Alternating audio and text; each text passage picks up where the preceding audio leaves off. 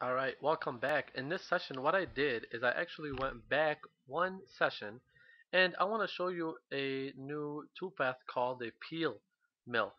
And in the peel mill, what it's going to do, it's very, it's used for uh, basically machining in a climbing motion between two contour lines. And I'm going to show you how to do that. Now, what I basically did is I took away the geometry that was machined in the middle. Remember we machined the pocket in the middle, we did an area mill but this time I removed it. I'm gonna click on the top and I'm, I'm just gonna show you how to do a peel mill right in between. So say we actually had like a half a circle here and then a half a circle here and we wanted to do a peel mill right in the middle over here. That's what it's used for. So I'm gonna use it now but it's not gonna be quite uh, it's not gonna look that great just because I'm not using it in a proficient manner. There's no a real geometry that I can use it for in this example, but I want to show you how to do it, just in case you want to machine something like I just explained between like uh, two half circles. So to get started on it, I'm going to go to Toolpath, Toolpath, and then 2D High Speed. Now, make sure I select Line and C-Plane, and then go ahead and select one line. And in this one, it's going to tell you to select the whole entire line, but you just want to end it and then select this line right here. Make sure they're both facing that same way and click on the OK button. Now make sure the peel mill is selected. Let's go to tool and let's select a quarter inch flat end mill. So select library and quarter inch flat end mill right here. When you're done with that, go to cut parameters. And now there's a couple new things we want to learn here. There's a rough offset. Now for the rough offset, this is the area you basically leave onto the walls that you just uh, or the contours that you selected. So let's do that as 0.03. For rounding radius, this is the radius for every single step that's rounded. It's, we're going to do that as 0.2. And then for the step over, this is the step over for every step basically, for between every uh, little radius. There's this little, that's called the step. We're going to use that as 0.1. And then there's also a back feed of 100%. We want to keep that as uh, of 100%. This is going back and forth 100% of the distance between the two contours that we've selected. Now let's leave a 0.01 inch between the walls. Let's go to depth cut. For the depth cut, let's change that to 0.25. We want to keep the tool. And let's do one finishing cut. One finishing uh, cut at 0.05. Let's go to finish passes and we want to enable finish passes. Let's keep it the same. And let's also enable machine finish pass only at final depth. So only at the final depth I'll do the machining pass.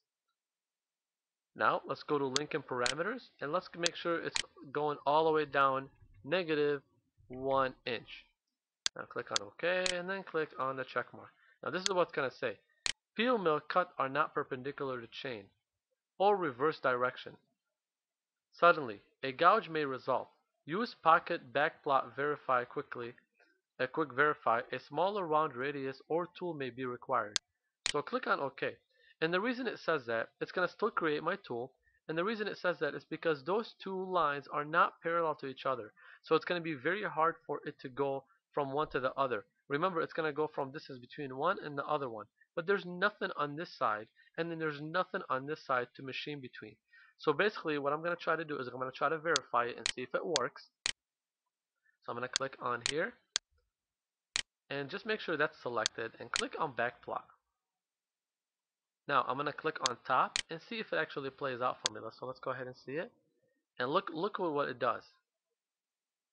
So it doesn't quite do what we want it to do. So I'm going to go ahead and play it.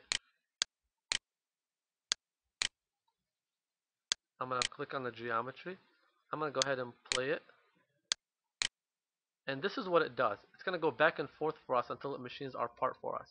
Now, the reason it's messed up like this, and sorry I won't be able to show you uh, how to do it cleanly unless I have a geometry this way, is that, like I said, I'm going to go back to my back plot and put it on top, is that my path's supposed to go back and forth, but it's supposed to stay on a parallel line. So unless those two lines are, are parallel to each other, it will not know how to stay in between them. And that's why if I keep going, you'll see that angle happen because it can't possibly, it doesn't know what to do in this area in this area. It knows that there's a line here and a line here and to stay between those two lines.